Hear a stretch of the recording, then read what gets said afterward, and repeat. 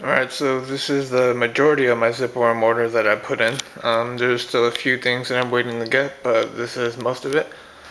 Um, right here is the original 5 inch zipper worm. I bought it in the sour grape and the cinnamon oxblood color. This right here is the sour grape color.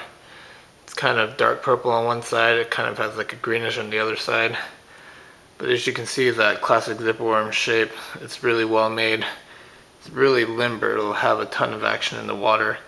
The thing about these is they feel really soft, but they also feel really durable at the same time. Like they can take a beating and you can catch, you know, more fish on one piece of these than you could most other soft plastics.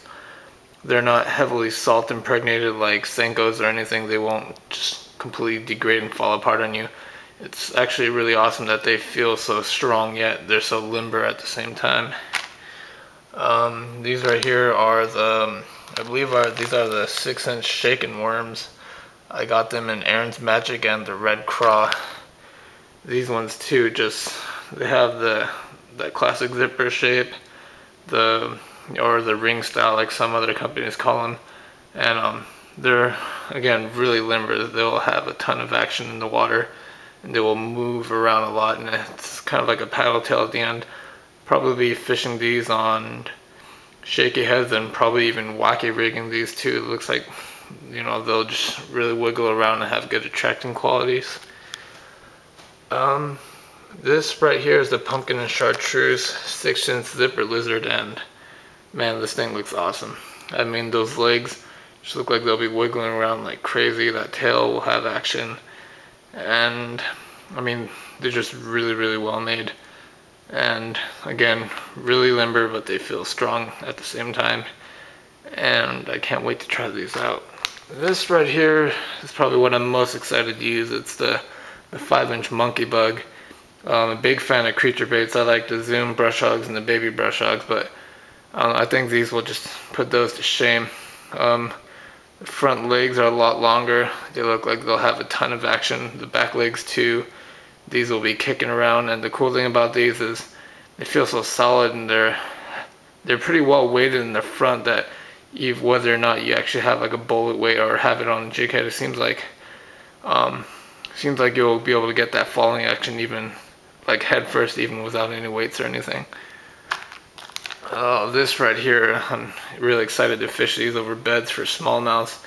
Um, this is uh, the five inch zipper or four and a half inch zipper craw in natural craw color.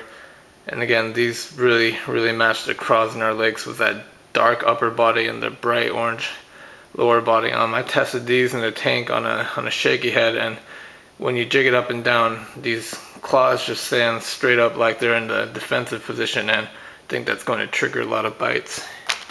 Um, I got that in the watermelon red and black flake as well.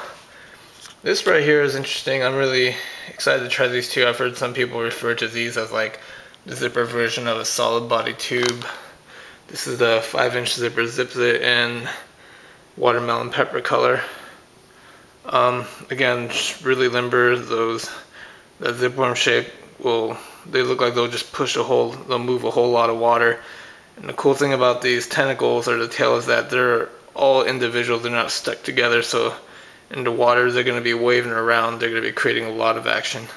And um probably fish these Texas rig weightless and with a weight but I, I like fishing weightless that slow falling action and the the free movement really seems to trigger bites.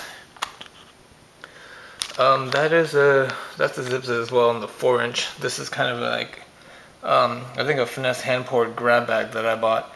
Um, I'll get into some of those in a little bit these right here, I'm really excited for smallmouth fishing too. Um, um, some of the locally made baits here that are really popular are the, the sniper lures, but these right here are the 3.7 or 3 and 3 quarter inch drop shot shakers.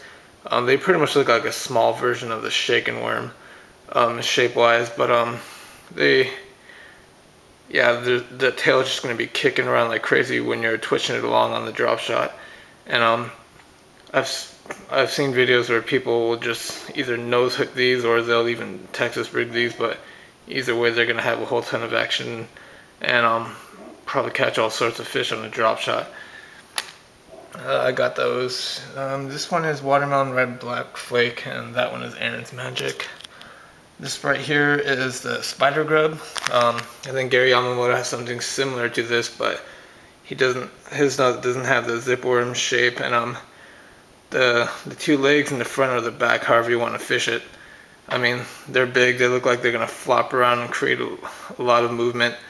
And again, the the tentacles or the tails on these are just really well made, where they're not just chunky. They're actually they're sticking together now, but they're actually individual strands. And I've heard of people fishing these either way, with the legs in the back or the tentacles in the back. But I'll probably be trying both. Might fish these on jigs. Might fish them as trailers. All sorts of things. Right here is a smoke black, red, green, and pumpkin pepper and green tail. Some crazy name and this right here is the smoke red black flake. But um, yeah, these look really awesome. Um, let me open this up right here real quick.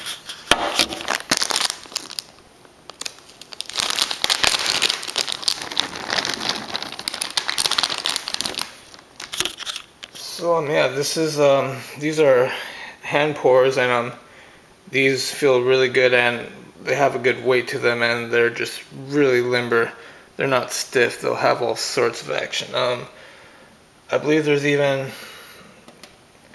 yeah, there's even a couple of 8-inch ones in here, which I'll probably be using in the lakes that are known for having a little bit bigger bass. But all of these, they just, I mean, they feel like gel. They feel like pudding or whatever. They're just really limber and they're just moving around everywhere.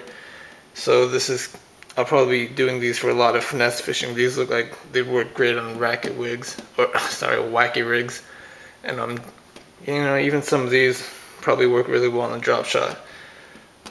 But um, yeah, I'm really excited and stoked to just try these out.